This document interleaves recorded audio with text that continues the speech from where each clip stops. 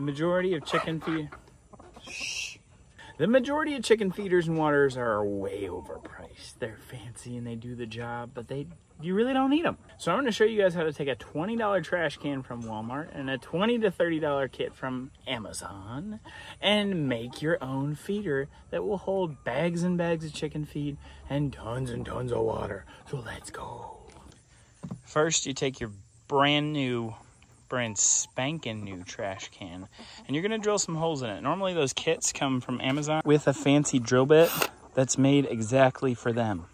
That little drill bit was for the waterers, and this one is for the feeder, because that's what the feeder cup is gonna go on. So you're just gonna cut out your holes, cut them out about uh, chest height for the chickens. You don't wanna go too low because they'll get muddy, nasty, dirty, like I did with my five gallon bucket versions. Or you don't wanna go too high to where they can't reach them.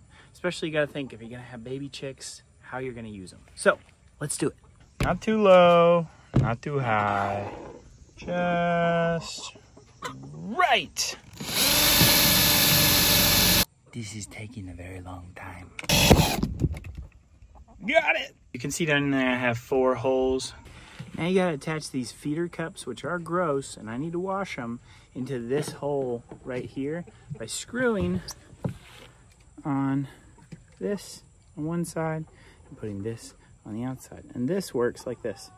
There's a little spring in there. So when there's enough water in there, it stops the flow of water. And when there's not, goes up. So when they're up, you need to refill your chicken water. See, I cleaned them. Now let's install them. This is the tricky part. Not really tricky, it's just time consuming.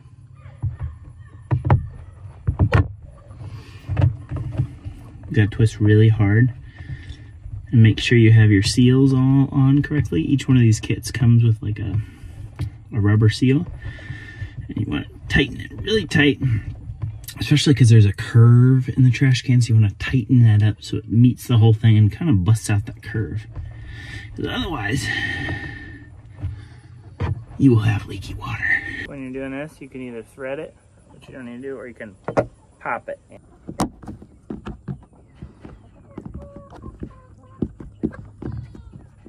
and this is it when it's all done we got a spigot on all four sides and they will be drinking water like nobody's business. Time to fill this baby up. And here they are enjoying their feast of water. It stays ever plentish as long as I keep it filled. Bonus points on this system if you have it autofill with rainwater or some other way, but I can come out and fill it once every four days. That will be easy. Now that we have that beautiful water done, let's make a feeder. I miss showing you drilling the, quiet. I miss showing you drilling the holes, but we do want to come back through here and get all this nasty stuff, put it in a trash can, get it out of here. That way we can get ready for our cups. These are honestly very easy cups to use. You put the top that extends out further on top.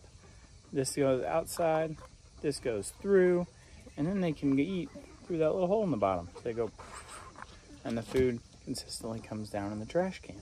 So it's very simple to use, very easy to put on, eat like no problem whatsoever. There's no seal issue.